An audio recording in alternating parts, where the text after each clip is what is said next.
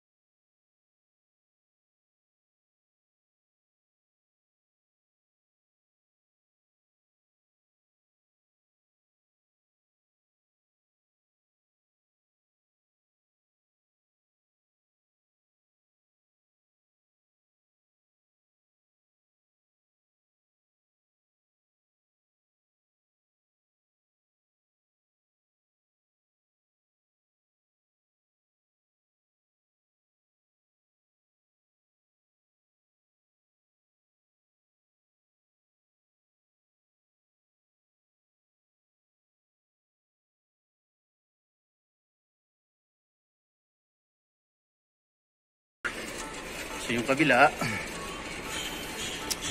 ah ito wala sa align to. Ayan o, nakakala. Yun, ang gulong sa huli. So, kung gaganin ko siya, nakalabas tong harap. Mapaguhin din natin tong huli. So, ganun lang ang alignment.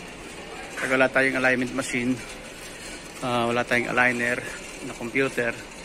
So, nagbabase tayo sa True Visual. So, True Visual, okay na yan. Tapos, uh, Teati steering, diretso. Ganun lang. So, okay na yan. Ha? Wala. So, road test muna tayo itong ano. Toyota Yaris. Hmm, itong ginawa natin ano, knuckle. Knuckle, turret adjuster, at saka yan, yan. So, mag-road test tayo pero kailangan natin mag-face mask. Dali, face mask tayo. Yan o. Yan. So, naka-face mask na. Dito kasi sa Saudi, hindi naman uso rito ang ano eh. Hindi, uso rito ang face shield. Uso rito face mask. So kailangan dito naka face mask ka. So, atras tayo. Ya! Yo no. Yan, atras tayo. Bihira. Yun. Okay. Pa-video tayo mga Sa kamay ko nasa camera. Eh wala. Wala tayong ano, GoPro. Sana pag nakabili tayo ng GoPro. Init sa labas oh. So, kasulo. So titingnan natin yung ano alignment kung okay yung alignment niya. Lipat natin yung camera. Yun oh. Lipat yung camera.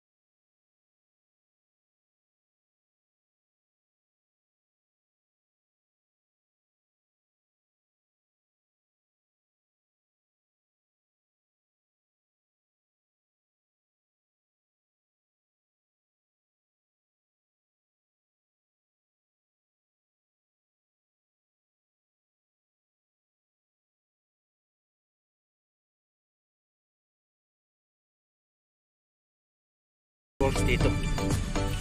Hmm. Tayo. Dito tayo sa workshop.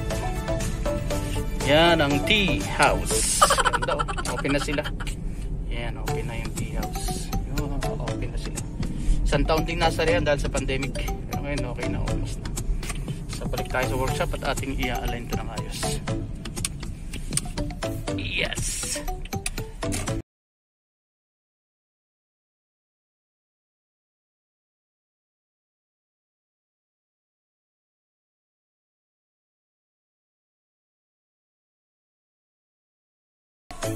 So okay na yan. Tagilid ang manibela. Sa sentro ko na lang to dito sa ilalim. Ito yun. Oh, nakatagilid oh.